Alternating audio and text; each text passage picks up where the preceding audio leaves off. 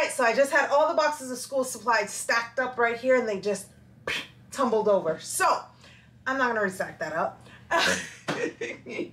In today's video, I'm going to be sharing our huge homeschool school supplies haul. We have had the privilege of receiving some funds from our state. It's like a one-time fun thing that they were doing based off of 2020 and kids being out of school and us homeschooled families got a chance to take advantage of that too. So I had a couple, I had a couple of hundred dollars left over and I decided to get some school supplies. So let's see what I got because I don't remember. So my daughter is going to be doing living arts education with master books this year. And so a lot of the art supplies, I assume, is what's going to be in this in this haul. I should have probably opened up these boxes before the haul, but then it wouldn't be an authentic haul, right? I just realized that I don't even have my mic attached. So hopefully you can hear me. I'll try to project. All right, this entire box has two things in it. So there's that. So my son is going to be doing algebra coming up, pre-algebra coming up sometime soon. So I decided to grab some of these compasses for him and I believe the art curriculum also required a compass as well. So got two compasses. All of these are from Staples. I don't know if I mentioned that, but they came in these nice little sleeve protectors, which is nice. Literally big box, one thing. Okay, so the next thing I got was the was what are these? What kind of ink are these? Was some pigment based ink I don't know if that makes it any more special, but they're pens. They're supposed to be like, I guess, special art pens. I don't know. I don't know much about art. But these are the ones I was told to get, so these are the ones that I got. So this is like a whole box of them. If you guys know anything about art, you can let me know why these pens are thebomb.com. But they're Uniball Onyx pens supposed to be really, really nice. And I'm a sucker for a good pen, so I'll let you know if they're good. Next thing I got was some pencil pouches. I'm going to be teaching four kiddos, seven and under, and we needed some new pencil pouches for them. So I got some of those. Like to keep all the school supplies together, but I find that for certain things, it's best for everyone to just have their own pencil pouch half of this is taking so long because I have to open up all these boxes. The one thing that's in this box is erasable highlighters. Now, I've heard some good things about these erasable highlighters and I'm so excited to use them for planning and different things like that. So I grabbed a pack of erasable highlighters and I'm hoping that my son can use them as well with his planning, my oldest son. This one looks a little feels a little heavier than one thing. We'll see if that's true. All right, so in here we've got some post-its. I don't know if you can see. Hold on, let me get a little closer. But I got the post-its with the lines on them. So they've, they kind of look like notebook paper a little bit so that you're, we're, I'm able to write in a straight line on it and for notes and different things like that. I got a composition book graph for my son who is, I don't know, have you seen that? So it's kind of like graph paper, but in a composition book. Because for math, I have certain kiddos who they do really, really well with using graph paper to help them line up their numbers. So I grabbed a composition book for that with the graph paper in it. In here is 25 two pocket folders that they can use for housing. If I can ever open this. There we go. For housing different things. So I homeschool two of my friends' little girls. And so if I need to send them home with different things on a weekly basis, I'm thinking about using these two pocket folders as well as my kiddos. They go to co-op and to house their co-op work and different things like that. So I grabbed a box of those. Why I got purple, I don't know. I like purple. All right, this one's a little heavy. All right, a ton of things in here. All right, so I got some watercolor painting things for painting palettes for my daughter as well as my littles. They're gonna be doing artistic pursuits year one. So both of those required watercolor palettes that are not just the one row one, but the one that has level two colors. I don't know. It's called it's called Artista 2. So it's got more colors than that. I also grabbed a ton of these twistable colored pencils. I grabbed about six of them because of the fact that these colored pencils work really, really well for identifying which colored pencils are ours and which are other people's, whether we're taking colored pencils to church or whether we are taking colored pencils to co-op, those different types of stuff. It just helps us be able to differentiate, okay, we brought the twistable ones, let's grab those and head out. In addition to that, I find the pencil sharpening is really annoying. And so with the twistable ones, I don't have to constantly worry about my, my colored pencil broke, I need to sharpen it, blah, blah, blah, blah, blah. I don't have to worry about that. So I grabbed a ton of those.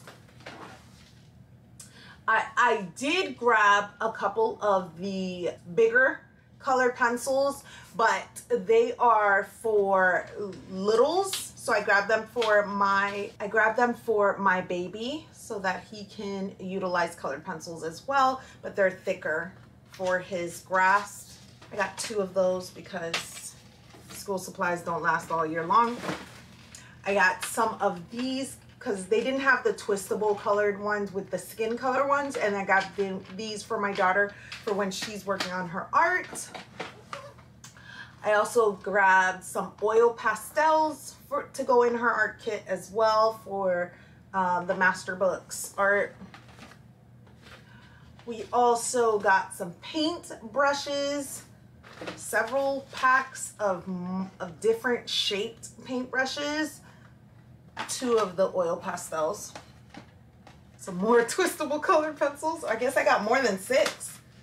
It's gotten eight. Yeah, I got eight things of twistable colored pencils.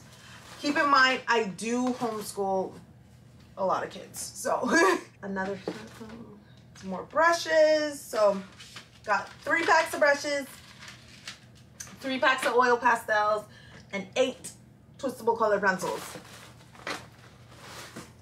I also got the primary journals.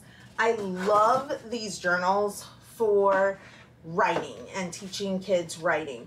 The, the wonderful thing about them is that up top, you've got a space for drawing. So every single day, we do a writing prompt with a space for them to draw what they write. And they absolutely love doing this. And so I grabbed a couple more of these journals for us.